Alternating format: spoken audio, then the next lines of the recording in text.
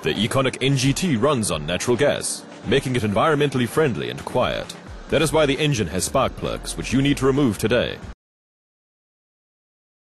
Once you have the natural gas vehicle in the workshop, you must label it accordingly. Attach the warning signs to the front and the sides.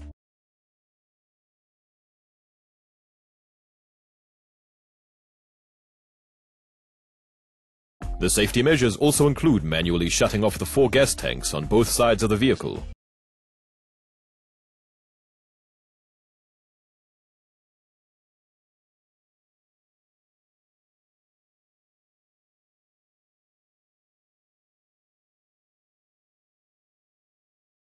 Start the engine in order to consume the natural gas which still remains in the lines.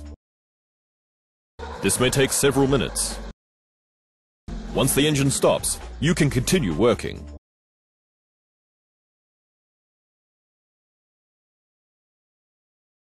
Open the service flap.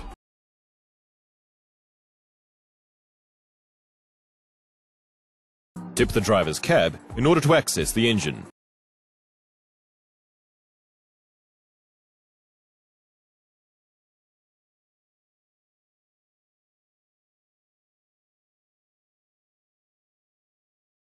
Then fit the safety support as well.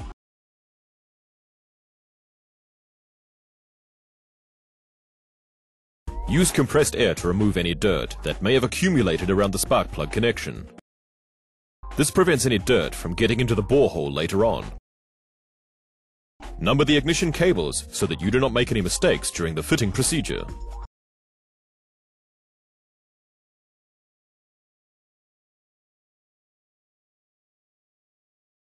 Now it is time to use this special tool. These are the pliers for removing the ignition cables. Remove all of the connectors.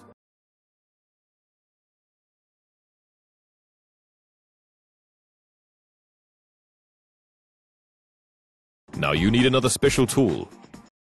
The spark plug key. Use this to unscrew all of the spark plugs. Please note, if the heat protection sleeve detaches while unscrewing the spark plug, you must replace it. Attention, please see the TIPS document for all of the necessary information. If, according to the service plan, the spark plugs do not need to be replaced, check the electrode spacing. This must be 0.35 mm with a tolerance of 0.05 mm. The spacing is okay, so the spark plug can be returned to its place. When fitting the spark plug, please note the tightening torque of 25 Newton meters.